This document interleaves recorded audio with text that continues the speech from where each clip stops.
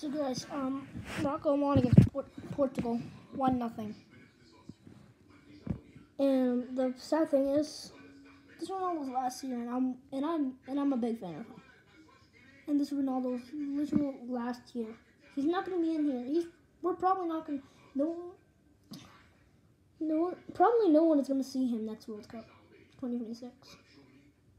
So um, it's gonna be sad.